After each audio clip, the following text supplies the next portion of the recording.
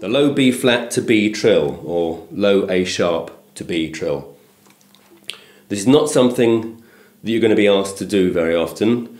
You won't see it written in saxophone music. There's no trill key available. You have to use the conventional fingering, which is the low B flat there with the little finger in my left hand rolling across to the B. Now you'll hear how awkward that is to try and trill quickly.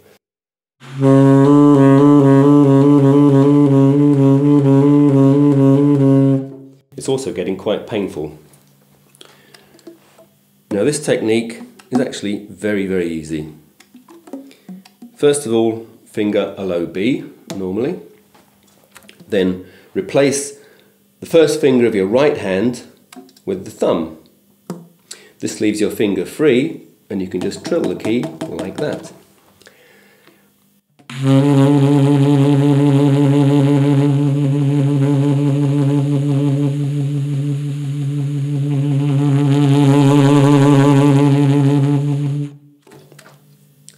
So it's possible to get a much faster trill.